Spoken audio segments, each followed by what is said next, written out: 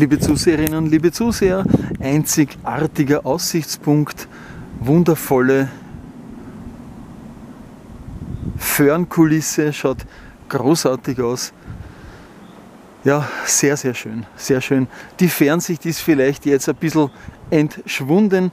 Es waren ein paar, ja, kann man sagen, Schneeflocken, aber nicht viel, so eher so graupelartig. Aber man sieht, die Wolken ziehen halt hier weiter und was man vorher noch gesehen hat, hohe Wand, äh, ist jetzt in einer Art, naja, Niederschlagswolke verbunden.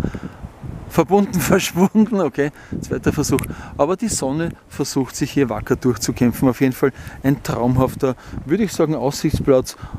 Kann man auch von Kraftplatz sprechen, also sehr, sehr schön.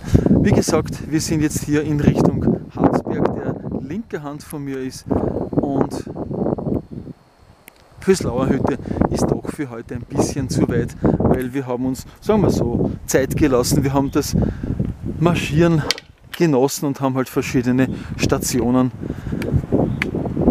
passiert, die wir äh, nicht, noch nicht, äh, wie sagt man, gesehen haben. Also das heißt, heute waren einige erstmalige, mm, auch für mich neue Attraktionen dabei. Hat mir, wie gesagt, sehr gut gefallen. So, jetzt muss ich nur aufpassen, weil es ein bisschen schräg hier und die Gruppe ist schon voran entfleucht.